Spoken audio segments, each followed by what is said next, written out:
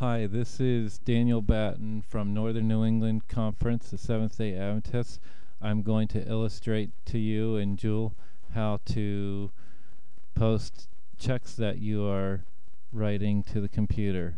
Let's first take a look at a bill that we have.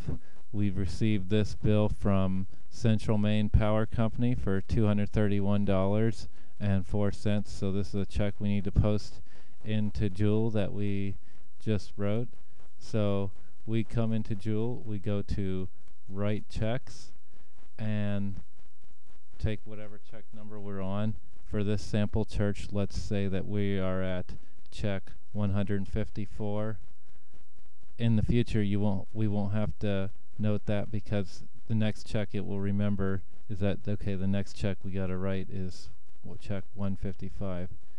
We'll leave today's date in there pay to the order of Central Maine Power. This is one that the the person we've already put in the computer and the check amount was for 231.04.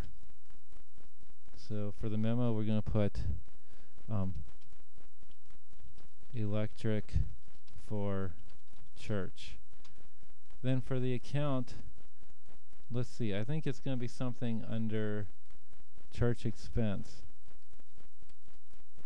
But I think we want to put the sub account, not just this. So let's take another look and see what entry options we have here under church expense. I think electric would be well to go under utilities church expense. So we hit enter and then we put the amount 231.04 and if this is the only check we're needing to post right now we would click the OK box. But if we got more checks, which we do, we will click on new check and that's okay.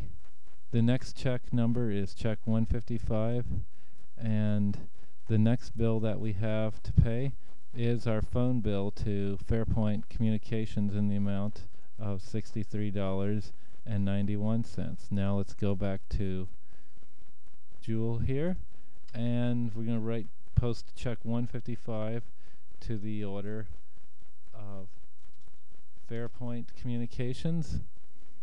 And that check was for $63.91 is that right?